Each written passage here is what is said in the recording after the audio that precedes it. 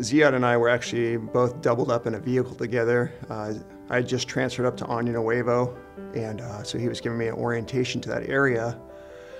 And so we were together for about a half hour, and then we heard a call go out for uh, water rescue for a surfer in distress at Davenport Landing.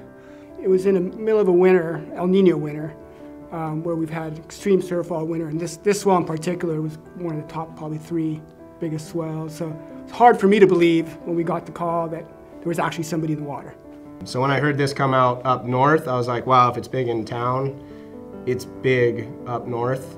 Davenport Landing, there's it's a unique area where it's a small bay, and on each side of the bay there's two reefs. So you get waves, all the large waves are focused on those reefs, and in the middle of the bay, that's there's a huge rip current, and that's how our victim got in trouble in the first place. He basically got swept out in that rip current. So for me, I just paddled directly straight out in that rip current. It's the safest route out.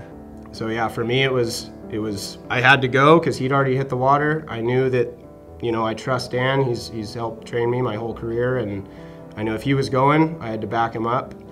Couple uh, paddles in, I kind of realized, wow, I have no idea how big it actually is up here. I was definitely heightened awareness and kind of kind of questioning whether I should be here, but knowing that you know, a partner of mine was already out ahead.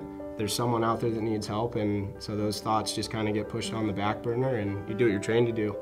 So at that point, I was suited up already, and so the incident command sent me in to go back these two up. So I was good, probably 10 minutes behind them.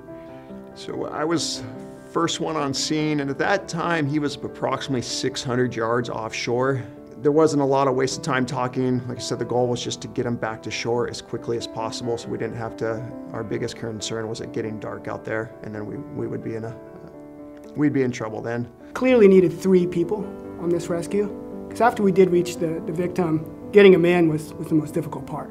So we kind of knew we had to either work together or no option or, or lose this victim.